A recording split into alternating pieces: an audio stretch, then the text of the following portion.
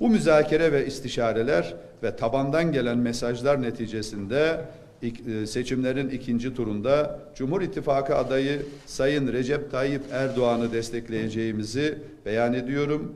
Bize ilk turda oy veren seçmenlerimizi de ikinci turda Sayın Erdoğan'ı desteklemeye davet ediyorum.